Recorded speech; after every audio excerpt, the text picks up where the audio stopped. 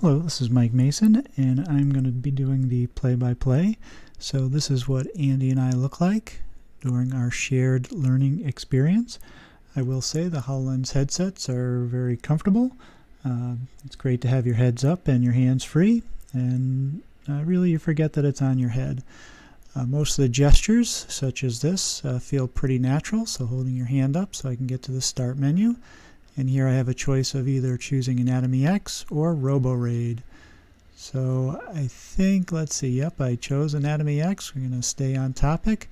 And, you know, just you're starting an application and it goes ahead and it scans the room. So this is something the HoloLens 2 will do uh, regularly. Uh, so it recognizes the space uh, for the future.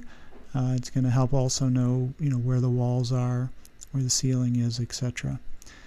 So I am uh, starting the Anatomy X program, and right now I have my own skeleton and, and move him around.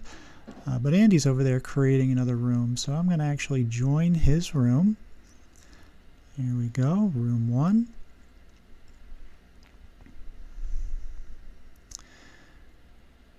And the first thing it asked me to do is scan an anchor. So as you see me on the left there, I'm actually scanning the anchor. Notice you don't see a name above my head uh, in the corner there, but as soon as I scan the anchor, you see it says Mike right above my head.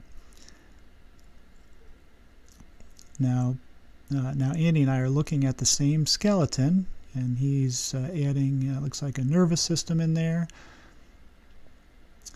And what I'm going to do here is take a look at Andy, and then I'll, I'll actually move the uh, skeleton down onto the table.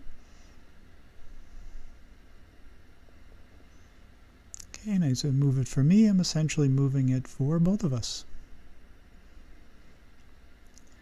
And I circle around.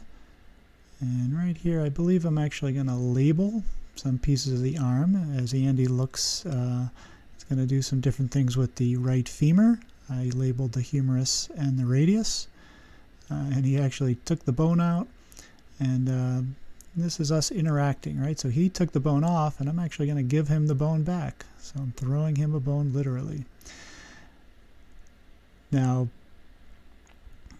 here's really the same thing in another view. Okay, this is from my point of view, and I'm just, again, I'm grabbing it with my fists, dropping it on the table, and then walking around.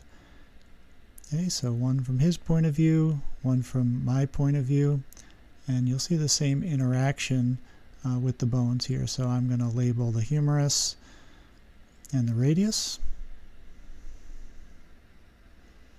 Okay, Andy took the bone out and I'm going to take it over and actually throw it to him. Okay, and notice it says Andrew uh, it recognizes him in the space. Now what's interesting here is, again, he's looking at the femur, uh, and if you look at the little info panel, he has there, you know, that's a perfect opportunity for learning. It's telling him information uh, about the femur and also the etymology of the word femur. So as you go through the, the skeleton, it's, it's, it's a learning opportunity. Now here we're going to move on just from the regular skeleton and go to something more specific. We're going to take a look at the back. It's, it's in the uh, supine position as well.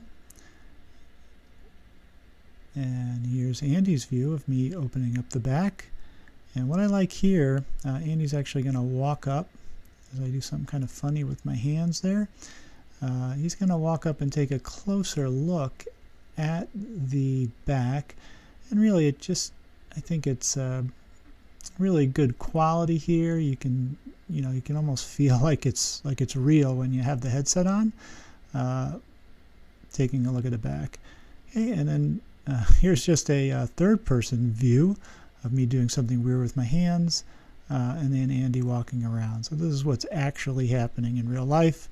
Uh, it it almost looks kind of strange. You're so used to the hologram being there and being real, and, and really that that is what it's like having the headset on. All right, so again, from Andy's point of view, uh, he sees me changing the heart and expanding uh, the, the parts of the heart. And now I'm going to uh, put it back together and start peeling apart different parts of the heart. So I take the pericardium off, uh, I take the wall of the atrium off, and really just you get a nice close-up look here, and I'm actually looking right through to Andy, uh, uh, uh, right through the heart. Okay, uh, so it's, it's, really a terrific way to, to learn uh, about the, the parts of the body, frankly, this, this software. All right, and no learning is complete without a quiz here. So this is me quickly trying to go through a challenge quiz. Um, and what's interesting, if you look on the right, you actually see a skeleton and it's sort of identifying parts of the skeleton and you're answering. So, so really the hologram becomes part of the exam as well. Uh, as you see, I wasn't really taking the test seriously. I got a 17, but um, you know, if, if I tried harder, I, I, think I could do better. All right, so here's Andy closing up the um, the session. Uh, it scans the room again, and uh, maybe I will play a little game. All right, so here's me battling some monsters. And, you know, really this is a great introduction to our esports segment which is coming up next. Oh, I died there.